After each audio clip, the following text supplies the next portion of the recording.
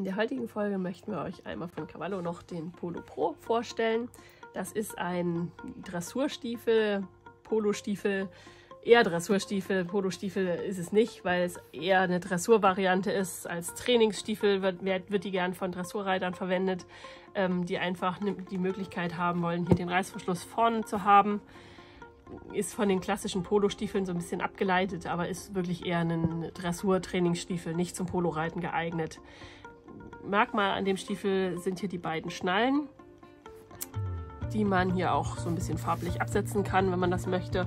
Wir haben hier nicht den ganz hohen Bogen, sondern so einen mittelhohen Bogen mit so einer Außenversteifung mit drauf. Wie gesagt, eher so ein, so ein Trainings-Dressurstiefel mit zwei Schnallen und mit dem Reißverschluss vorne. Der ist ein bisschen haltbarer, wenn der vorne sitzt, als wenn er jetzt hinten sitzt. Nachteil daran ist, ähm, dass der Stiefel einfach im Knöchel her sehr, sehr weit geschnitten ist. Das heißt, ähm, ist eher für Herren geeignet, die sonst im Spannen ein bisschen ein Problem haben äh, oder einfach für Damen, die ein bisschen mehr Wade haben ähm, und ja, hier einfach von Knöchelschnitt eher was etwas weiteres bevorzugen. Kann einfach vom, vom Schnitt her nicht super eng im Knöchel geschnitten werden, sonst müsste man vielleicht dann doch eher auf einen Insignis oder auf äh, eine Slim-Variante von dem Primus wechseln. Polo Pro halt eben ein bisschen breiter im Knöchel geschnitten. Äh, vom Grundleder haben wir hier ein Rindboxleder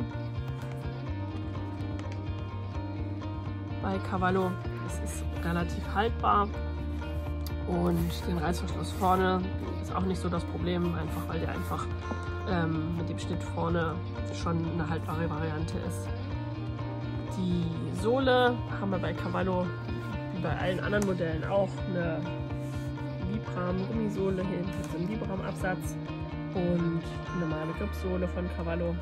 Dann auch in verschiedenen Farben. Hier haben wir einen hellfarbenen Absatz zu dem Modell mit aus dem Nubuchleder. Genau. Was bei Cavallo immer zu beachten ist, äh, ist, dass die Höhe kürzer ausfällt als das, was in dem Stiefel drinnen steht. Wir haben jetzt hier bei dem anthrazitfarbenen Stiefel eine 6,5er Schuhgröße, also Schuhgröße 40. Das ist immer die UK-Schuhgröße, die englische Schuhgröße. Ähm, eine 50er Höhe und eine 37er Wade. Ähm, wenn bei Cavallo 50 im Stiefel oder auf dem Karton steht, ist er nicht 50 cm hoch, sondern wir messen hier einfach nach. Ähm, immer 2 cm kürzer als das, was im Stiefel drin steht. Das heißt, wir haben hier nur eine 48er Höhe. Das ist einfach bei Cavallo bedingt so. Äh, die messen die Höhe ein bisschen anders. Muss man jetzt nur aufpassen, wenn man von einem anderen Stiefel kommt oder wenn man einen Cavallo-Stiefel hat und möchte jetzt auf einen anderen Hersteller wechseln, ähm, dass das, was drin steht, immer zwei Zentimeter kürzer ausfällt. Nicht, dass man den Stiefel, dann den nächsten Stiefel viel zu hoch bestellt oder wenn man von Königs kommt, die messen auch ein bisschen anders die Höhe, ähm, dass man dann den Stiefel viel zu kurz bestellt. Deshalb immer wieder nachmessen, das ist ganz wichtig, gerade wenn man zu einem Cavallo-Stiefel möchte und das beachten.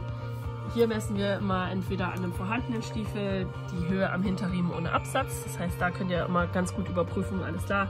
Ich habe jetzt hier 48 cm gemessen. Ähm, ich bräuchte dann bei Cavallo eine 50er Höhe, um genau diese 48er Höhe auch zu erhalten. Ähm, oder ihr messt es im Stehen vom Boden bis zur Kniekehle und äh, schlagt da noch einen Zentimeter fürs Setzen mit drauf. Man kann auch bei denen, weil die relativ weit im Knöchel sind, anderthalb, zwei Zentimeter aufschlagen. Das ist dann aber schon wirklich ziemlich hoch. Wadenumfang fallen die normal aus. Das heißt, wenn man hier wie bei dem eine 37er Wade hat, sollte man auch mit dicken Reithosen und Socken eine 37er Wade gemessen haben. Vielleicht auch mal abends äh, die Wade mal ausmessen, mal morgens. Das ist ganz normal, dass der Stiefel morgens einfach ein bisschen weiter ist.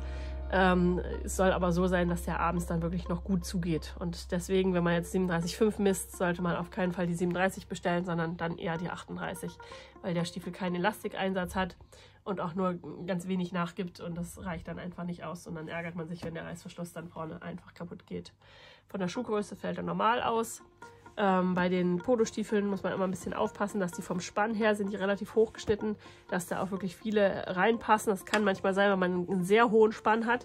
Dadurch, dass dieser Reißverschluss hier äh, direkt vorne auf dem Spann sitzt, ähm, kann das manchmal passieren, dass es dann vom Spann her nicht passt. Das heißt, hier muss man auch schauen, dass man nicht so einen hochgeschnittenen Spann hat, sonst müsste man hier vielleicht noch eine Maßanfertigung bestellen. Aber sonst äh, wirklich ein toller Trainings- und Alltagsstiefel von Cavallo.